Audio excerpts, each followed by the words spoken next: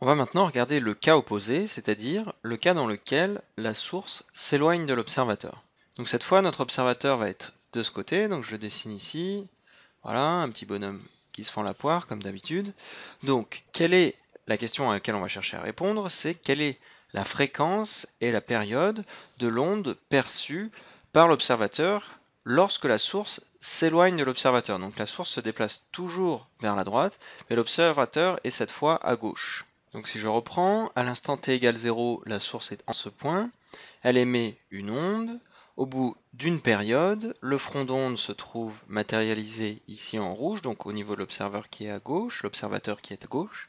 Mais pendant ce temps-là, pendant la période TS qui s'est écoulée, la source, elle, elle s'est déplacée d'une certaine distance VSTS, et donc sa nouvelle position est là. Donc quand elle va émettre le deuxième cycle, lorsqu'elle va commencer sa deuxième période, eh bien, elle aura bougé de cette distance VSTS en s'éloignant de l'observateur.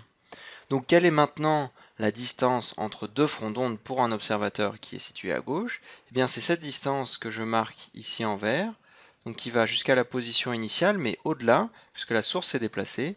Donc on voit que c'est la somme du rayon de la sphère rouge plus le VSTS. Donc si je l'écris ici, ce segment en vert qui est la distance qui sépare le premier front d'onde du deuxième front d'onde qui est émis à l'instant TS, eh bien c'est très simplement, on a dit V0TS pour le rayon de la sphère rouge, V0TS, auquel j'ajoute cette distance, VSTS, la vitesse de la source fois sa période.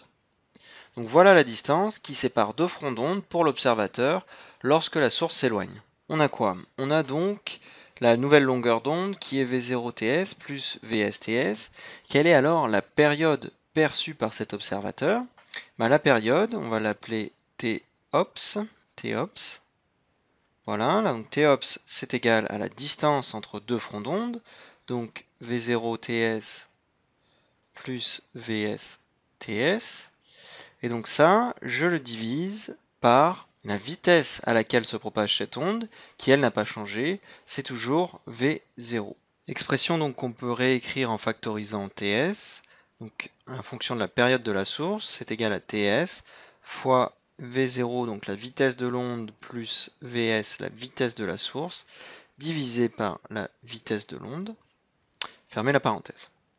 Donc ici, on a la période de la source fois quelque chose qui est plus grand que 1.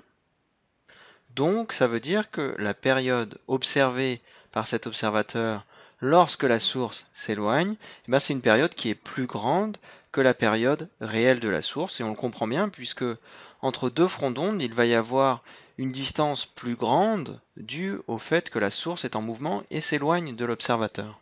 Donc ça c'était pour la période. On peut maintenant regarder la fréquence que je vais noter f ops. Donc c'est tout simplement l'inverse de la période. Donc on va prendre l'inverse de toute cette expression ici. 1 sur ts ça nous donne fs puisque l'inverse de la période de la source c'est la fréquence de la source. Donc f S, et ensuite l'inverse de V0 plus Vs sur V0, bah, c'est tout simplement V0 sur V0 plus Vs. Et donc si je résume les deux cas différents qu'on vient de voir, c'est-à-dire la source qui se rapproche vers l'observateur et la source qui s'éloigne de l'observateur, donc j'ai rassemblé les formules dans ce tableau ici. Premièrement, la source qui se rapproche de l'observateur. Donc on a la période vue par l'observateur qui est égale à la période de la source fois la différence vitesse de l'onde moins vitesse de la source divisé par vitesse de l'onde. La fréquence, c'est l'inverse, et donc fs fois v0 sur v0 moins vs.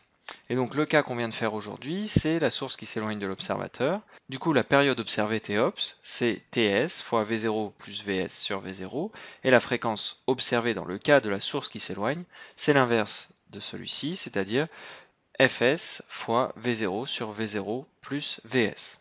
Et donc en termes d'exemple, la source qui se rapproche de l'observateur, ça peut être le klaxon d'un train qui arrive sur le quai, donc le train qui se rapproche de nous, on perçoit alors une fréquence plus élevée que la fréquence du klaxon, donc un son plus aigu.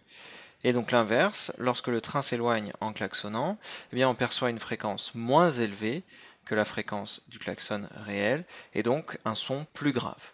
Donc il ne faut pas oublier que les deux cas qu'on vient d'étudier sont les cas idéaux en quelque sorte, puisque la source et l'observateur sont situés sur la même ligne. Par exemple, si j'avais dans ce problème choisi un observateur situé ici, eh bien bien sûr la période aurait été différente. Il aurait fallu faire un petit peu de trigonométrie pour prendre en compte l'angle avec la direction de la source et donc calculer la nouvelle période. Donc on va terminer cette vidéo avec une petite application numérique. Donc je repars ici, comme ça on a les formules pour les deux cas qu'on vient d'étudier dans les deux dernières vidéos. On va prendre quelques données numériques, donc une vitesse de la source par exemple, Vs qui est égale à 5 mètres par seconde, fois Ux, donc Ux c'est le vecteur unitaire orienté vers la droite, une vitesse de propagation de l'onde qui est égale à 10 mètres par seconde, c'est une vitesse radiale, je refais un petit schéma, une vitesse radiale, on va avoir donc l'onde qui part dans toutes les directions du plan avec la même vitesse, vers l'extérieur, comme ça. La période de l'onde en question, donc TS, qui est égale à 1 seconde par cycle. La fréquence de l'onde en question, qui est donc l'inverse, soit 1 cycle par seconde, ce qui est aussi égal à 1 Hertz. Donc quelle est la fréquence et la période observée dans les deux cas suivants? Grand A, on va regarder dans le cas de la source qui se rapproche de l'observateur. La fréquence observée, c'est donc d'après cette formule qu'on vient de démontrer, la fréquence de la source, donc 1 fois la vitesse de l'onde, 10, divisé par la différence entre vitesse de l'onde et vitesse de la source, ce qui est 10 5. Donc en fait, ici on a 1 fois 10 sur 10 5, c'est-à-dire 10 divisé par 5, ça fait 2, donc 1 fois 2. Ici, on a un rapport de deux vitesses, donc c'est sans unité. L'unité est donc donnée par ce premier facteur, qui est en fait la fréquence, donc des Hertz.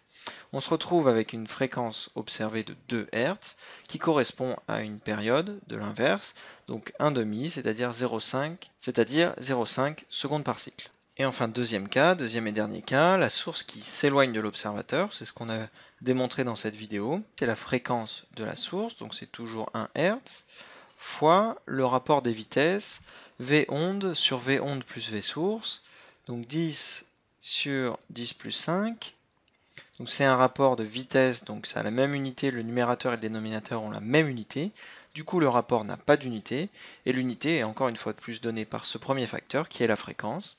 Donc ça, ça nous donne 10 divisé par 15, c'est-à-dire 2 tiers. Et l'unité, c'est bien des Hertz.